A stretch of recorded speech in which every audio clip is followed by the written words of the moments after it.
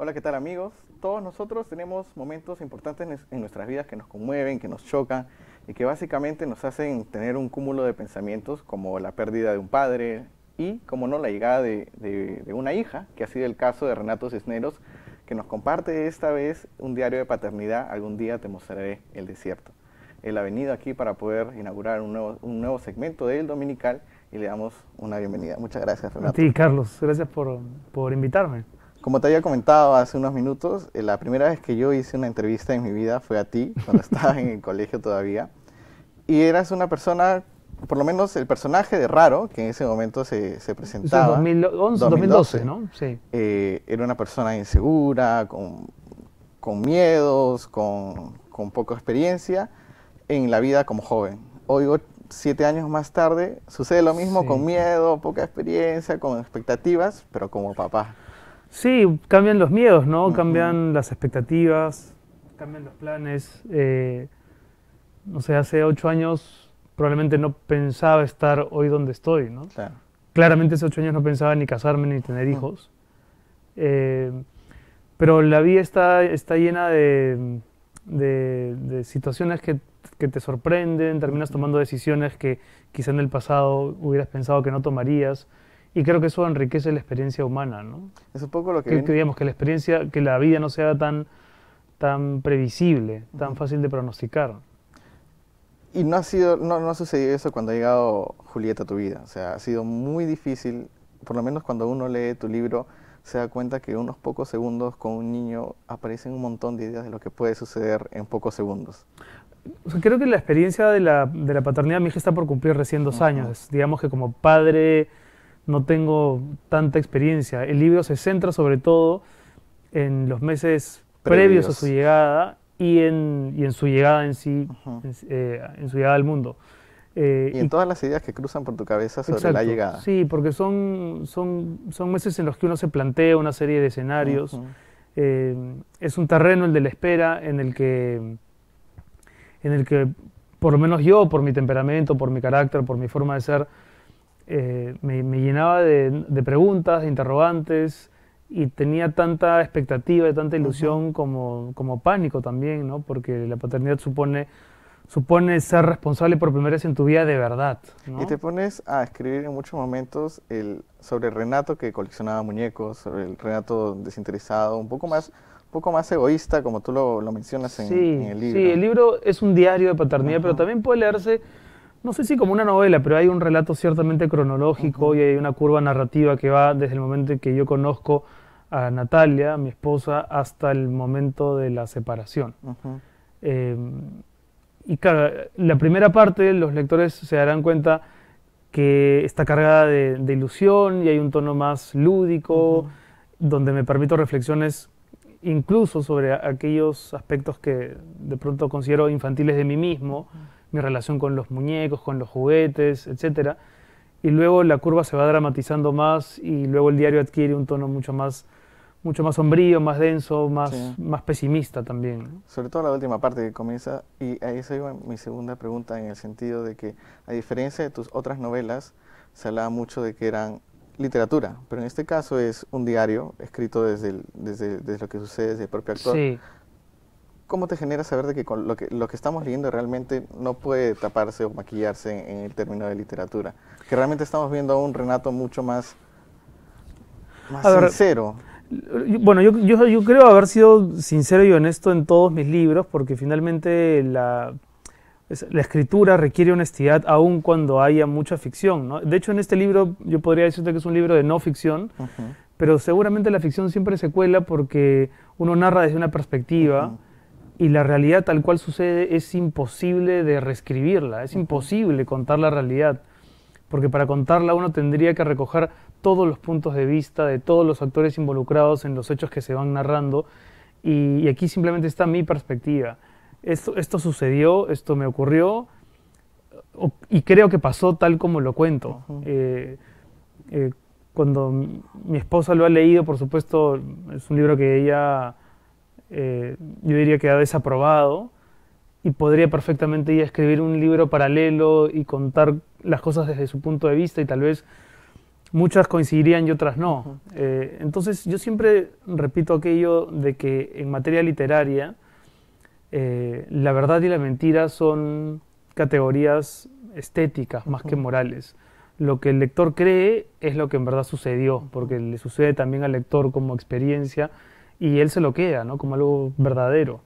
Imaginaba eh, ese momento, el de la desaprobación, que a diferencia de otros familiares que cuando han leído tal vez la distancia que nos separa, sucedió lo mismo. Pero cuán distinto es cuando es tu esposa la que... Bueno, a ver, yo siempre, siempre digo que las familias o los familiares de los escritores eh, tienen que lidiar con el hecho de, tener un escritor entre sus filas, de convivir con un escritor. No es que justifique por eso el hecho de que se cuente cualquier cosa por el puro hecho de contarlo y generar morbo y chismografía.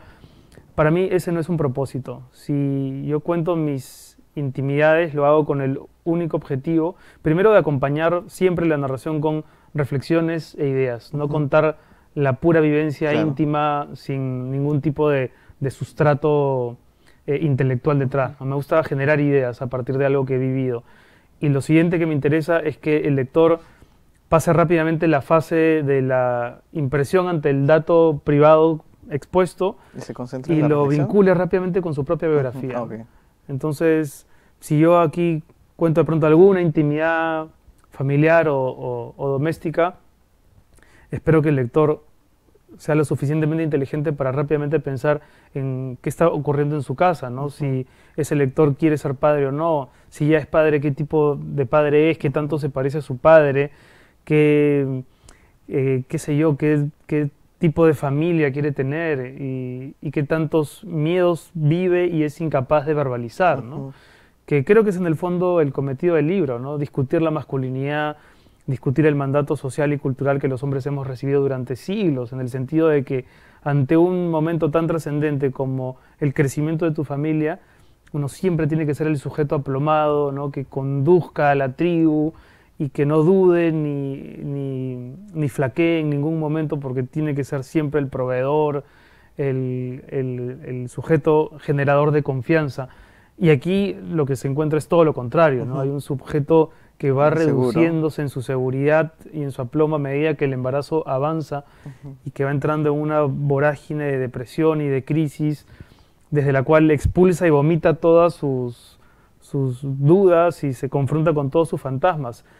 Y es una cosa que por lo menos yo nunca la había escuchado, ¿no? Había escuchado otro tipo de consejería, pero recién cuando la he empezado a vivir, eh, y estoy seguro que muchos han pasado por situaciones similares, solo que hay pocos espacios para decirlo, para, para, decir, los hombres también tenemos miedo, ¿no? Y, no y, la paternidad es una maravilla, pero también puede ser en un primer momento eh, una, una, carga, un peso, una duda enorme, ¿no? Ahora, me, voy a recoger una, una, frase que tú habías escrito de que es, mi hija Julieta arriba, arribará mañana a este mundo con la estricta misión de mejorarlo.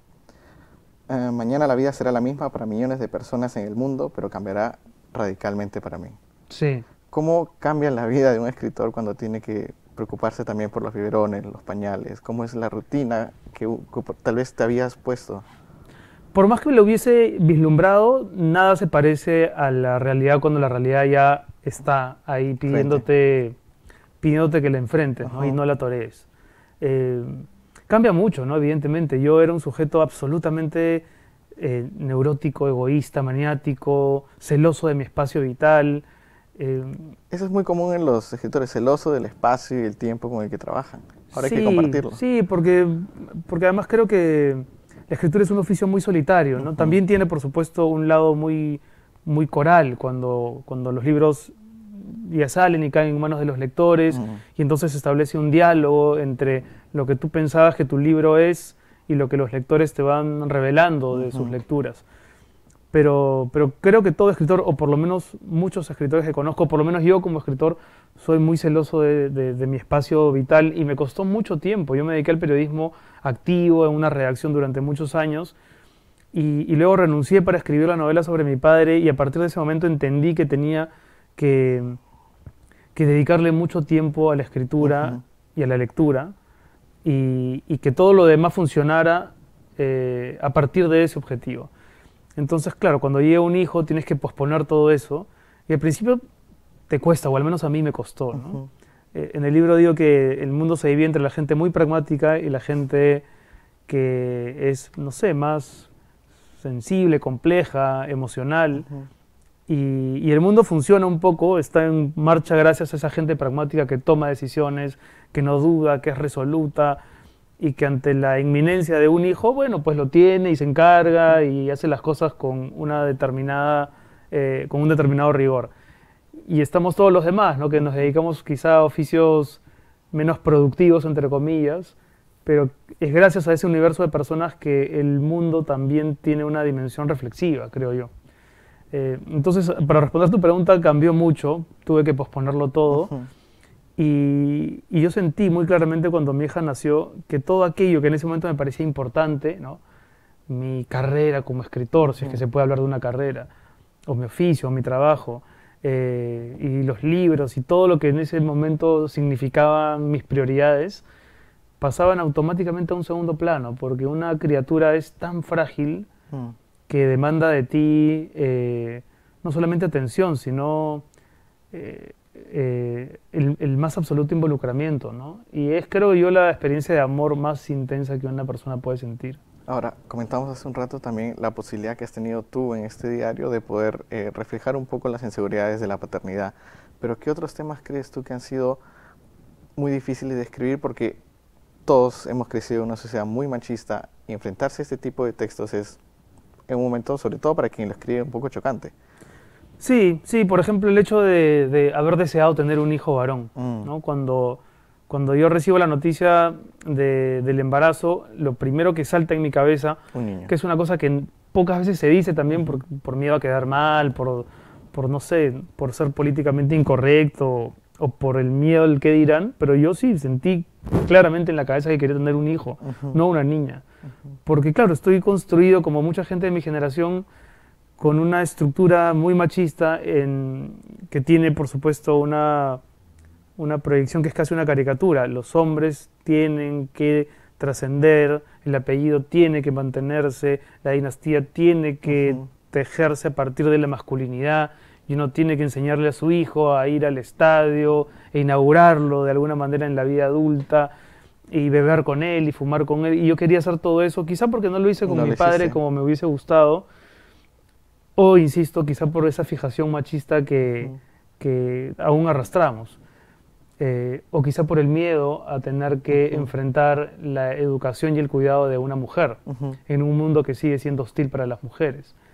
Eh, así que me enfrenté también a eso, ¿no? Y, claro, es incómodo escribirlo, pero también para mí fue necesario escribirlo, ¿no? Decir las cosas eh, incómodas que durante esos meses transcurrían también en mi cerebro. Me ponía a pensar en un momento gracioso de, del texto que tú comienzas a pensar en el momento en que un muchacho aparezca en la puerta de tu casa preguntando por tu hija, en que empiece a preguntar por ella y las reacciones que tú tendrías. Y decía, más fácil es como cuando se aparezca un tipo como raro en la puerta de Cisneros para poder preguntar por... Raro es el personaje de la novela.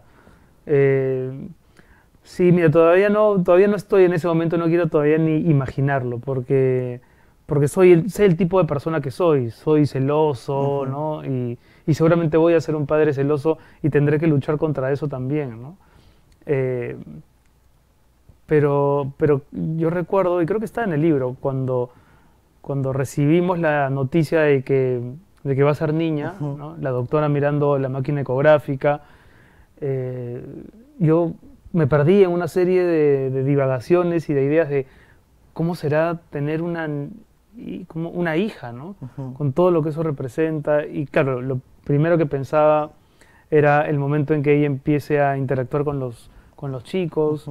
y, bueno, me, me, tocará, me tocará enfrentarlo en su momento, ¿no? Espero que el tiempo pase lento, lento, lento. Seguramente te dará muchas razones más para escribir esas, Seguro, seguro. Gracias Renato por habernos acompañado hoy día. Al contrario, muchas gracias a, ti. El 28 de julio vamos a presentar el libro en la te sala... Digo que lo puedas invitar. Sí, en la sala Blanca Varela el 28 de julio, para quienes no tengan planes de fiestas patrias, si es que no salen eh, fuera de Lima para los que viven en Lima y si es que salen de, sus ciudades y pueden pasar por acá, vamos a estar a, las 5 de la tarde con Patricia del Río y con Maite Mojica conversando de, algún día te mostraré el desierto y hablando de todas estas cosas que me parece siempre que son edificantes y que son necesarias. Y son nuevas y tenemos que reflexionar sobre ellas de todas maneras. Sí, porque además eh, creo que todos somos, todos somos hijos, ¿no? todos somos padres, pero, pero es un tema que está de todas maneras en el corazón de, nuestras, de nuestra familia. Muchas gracias Renato. A ti, Carlos. Muchas gracias a, ustedes por haberse mantenido conectados. Nos vemos la próxima semana, nueve y media.